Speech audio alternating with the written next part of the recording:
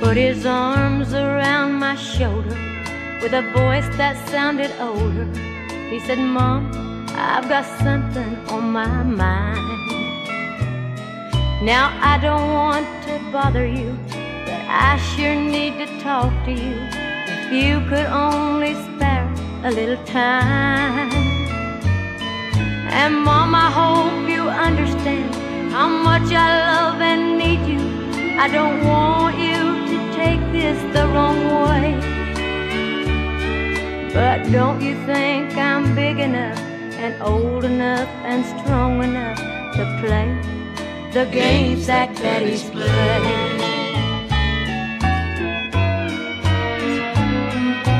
My friend Billy Parker's dad come by today to see me, and he wondered if I would like to go with him and Billy on a hike, the way we camp out every night, the way I've seen him do on picture shows.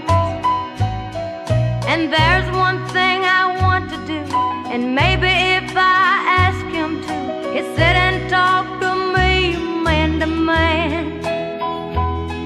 We'd only be gone overnight. I could find out what it's like to play the games that daddy played.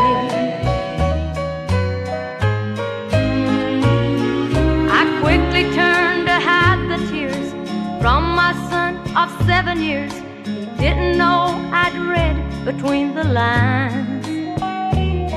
He'd never really known his dad, and although